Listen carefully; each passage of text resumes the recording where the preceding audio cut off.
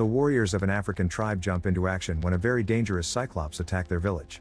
Their skills aren't enough to stop it, so they seek the help of a legendary monster hunter, who is getting ready to fight. But the origins of this story actually began many years ago. Teenage boy Jack was always in trouble because he was constantly angry and snapping at anyone over the smallest things to the point of actually getting violent. His teachers would always punish him with detention or extra exercise and make him apologize to his victims, but nothing was enough to make him stop. It wasn't always like that though. Jack used to be a good boy that lived happily with his family until the fatal day they went camping. His parents had been dancing to music on the radio and Jack copied them with his sister, but the girl whirled away into the forest. Suddenly, a troll appeared and began eating the kid. Jack was so scared that he froze and could only watch. The parents rushed to help, but the troll ate the mother too. The father tried to retaliate and the troll quickly overpowered him, so right before dying, he told Jack to run. After watching his dad get eaten too, Jack ran as fast as possible and became the only survivor. Nowadays, Jack is in his 20s and still carries an anger that he unleashes easily. He's working on getting better though. He's got a job as a plumber, started night classes to finish high school, and sees counselor Silverstein for guidance. However, any question asked by Silverstein just triggers another furious rant from Jack and no progress is ever made. Tonight Jack is arriving late at school, which is pretty usual for him and doesn't surprise Professor Crowley. Jack's girlfriend Eve does pass him notes to scold him for missing most of the class and not even bringing a pen, but Jack pays more attention to the other girls in the room. Tonight Crowley shows the students how sodium can make an explosion when put into water.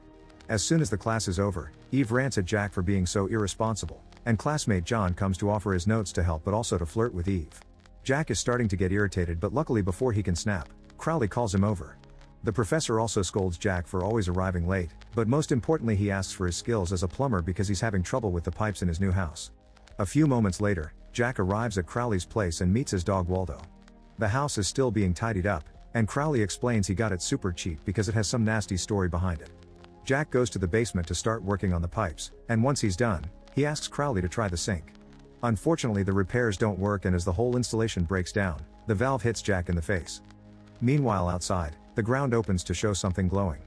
Jack explains to Crowley that they need to change the valve, so he takes the old piece and promises to come back after finding a replacement. At first his van won't start, and Jack begins throwing a tantrum that is interrupted when the engine finally reacts, stopping things before they get violent. Sometime later, Crowley falls asleep at his desk. Waldo is outside barking at the hole in the ground, which now is releasing a mysterious smoke. This smoke sneaks inside the house through the back door and is inhaled by Crowley, who suddenly wakes up and abruptly stands up to reveal black eyes. Moving rather awkwardly, Crowley runs through the house and hits the door with his own body a couple of times until he realizes how to open it. Then he runs to the garden even if it's raining. The next day, Crowley wakes up when he hears Waldo bark at him. He's shocked to discover he fell asleep in the garden and his hands are rather dirty as if he had been digging, not remembering a thing about last night. When he turns around, he confirms digging is exactly what he had been doing. The hole isn't very deep yet, but now Crowley is curious and rushes to get a shovel to finish what he started. After some more digging, Crowley finds the broken pipe and a mysterious box, which he proceeds to take out of the hole by chaining it to his truck. Once the box is taken into his office, Crowley opens it and finds a human skeleton. He gives a leg bone to Waldo then looks more closely to find a huge surprise. Inside the ribs, there's a black heart still beating. A wary Waldo barks at it but Crowley picks it up anyway and tries to make it stop moving. However this only gets his fingers covered in goo. Suddenly his hand moves on its own and pushes the heart into Crowley's mouth, forcing him to swallow it whole before falling unconscious. Meanwhile Jack goes to the hardware store to get a new valve. The clerk Howard is shocked to notice the valve is a model he hasn't seen in years, and when Jack says where he found it, Howard is terrified. He asks the boy to come back tomorrow for the new piece and promises to share the story about the curse behind that house. Back to Crowley, he wakes up with a burp on his office floor. He can't stop scratching his chest and feels extremely hungry, so he goes to check the fridge. He tries the lettuce and spits it out, but ham and milk he adores, it seems he's ravenous for animal products only. In the evening, Jack arrives at class on time and the one to arrive late is Crowley, who looks like a complete mess. His clothes are dirty, he keeps on burping and scratching his chest, and there's still food in his hand. When one of the students asks if he's sick, he just laughs and says a little. Then Crowley turns to the blackboard only to start writing nonsense, causing everyone to laugh right before he throws up all over the board. Crowley tries to clean it with his sleeve and decides to end the class for today. Outside, John tries to flirt with Eve again. When Jack walks by, John tells him he has to treat Eve better and insists Jack needs to relax, not letting him go until they have a talk. Growing irritated, Jack hits him in the throat, and now he has to drive Eve home while she yells at him for being violent during the whole trip. Crowley goes home too and arrives with a bucket of fried chicken because he can't stop eating. Waldo won't come closer to receive his master and barks every time he sees him. Crowley ignores him and goes looking for more food, only to stop when he feels a weird sensation in his stomach. A bump on his shirt begins moving on its own and suddenly, a tentacle comes out of his body. Freaking out, Crowley grabs it with both hands and struggles against it until he can find a pair of scissors to cut it off. Afterward, Crowley checks the fridge, but there are only vegetables left. Since Waldo won't stop barking at him, Crowley chases after him to have him for dinner. The following day, Jack tells Silverstein that he thinks he should move to another country to start over. Silverstein points out Jack is only trying to run away from his problems and insists they should talk about Jack's family tragedy. Jack doesn't want to talk about it because everyone makes fun of him for saying he saw a monster, and he still feels guilty for running away.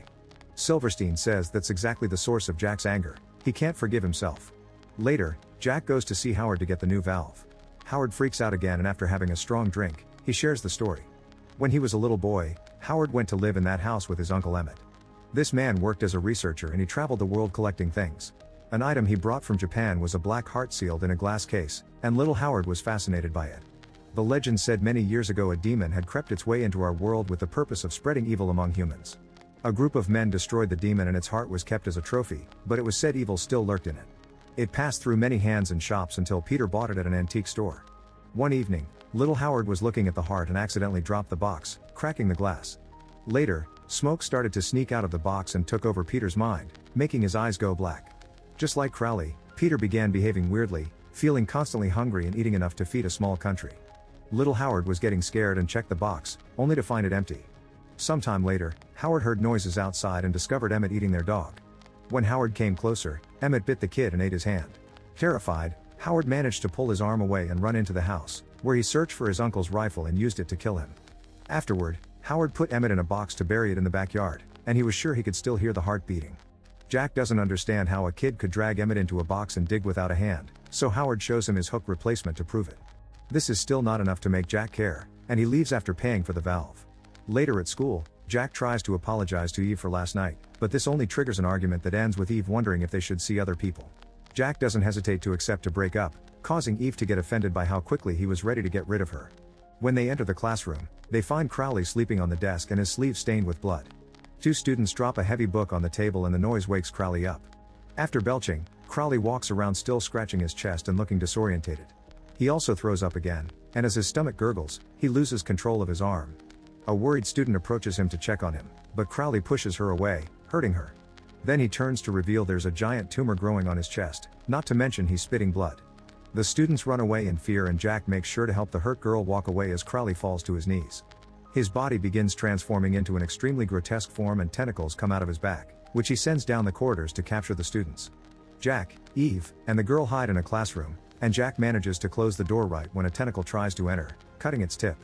The other students aren't as lucky, and the tentacles drag them back without caring if they get hit by any object in the process.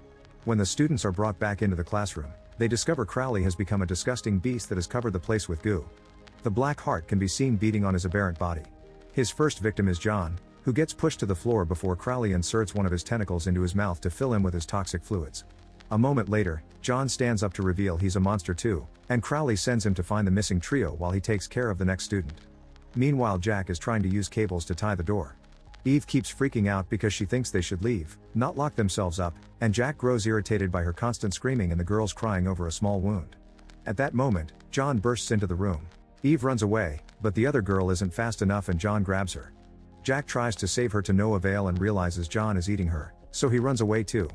While Crowley sends out more transformed students, John finds Eve in another classroom. Luckily Jack arrives just in time too and hits John with a stool before grabbing Eve to run away. There's another monster waiting outside, so the couple runs down the corridor only to find the doors closed. The janitor is on the other side and accepts to open when he sees them, but he takes his sweet time with it. This gives the monster time to catch up, and by the time the doors are unlocked, the monster jumps on the janitor to eat him too. Jack and Eve run to Jack's van, which takes a while to start. Eve yells at him for driving an awful vehicle, making Jack's irritation grow. To make matters worse, the radio begins playing the same song he heard when his family died. Jack suddenly stops the van as flashbacks of the tragedy flood his mind, and Eve yells at him for it. Jack's anger grows and finally makes him snap, but this time it's different. He asks Eve to get out of his van, furious but without violence, then he drives back to the school. Jack's determined to make up for the errors of his past and arms himself with all his plumber tools to stop the monster.